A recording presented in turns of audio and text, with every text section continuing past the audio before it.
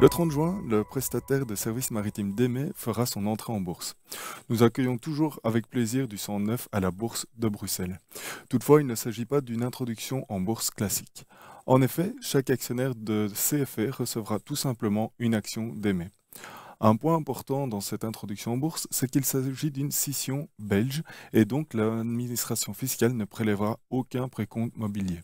Les actionnaires de CFE deviendront simplement actionnaires de deux sociétés, DEME et le groupe de construction CFE. En tant que société cotée en bourse, DEME peut attirer des investisseurs grâce à son profil unique.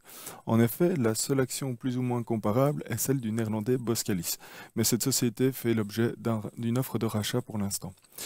DEME n'est pas seulement qu'une société de dragage, c'est aussi un pionnier dans les services maritimes. La société a été très vite active sur le marché des éoliennes offshore, elle investit massivement dans l'exploitation minière en haute mer et elle est active dans les sources d'énergie alternatives comme l'ammoniac ou l'hydrogène vert.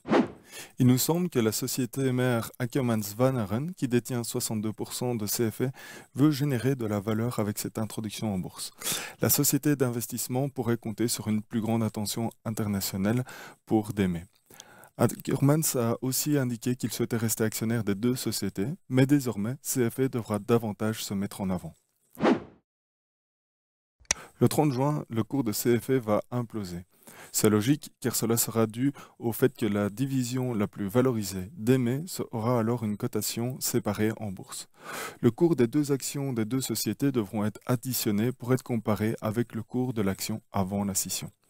Alors est-ce une bonne idée d'acheter CFE maintenant pour détenir des actions d'Aimé bah, de nombreux investisseurs sont investis dans CFE précisément parce que DME se trouve dans la société. Nous pouvons donc craindre qu'ils vendent leur action CFE une fois que DME aura été scindé.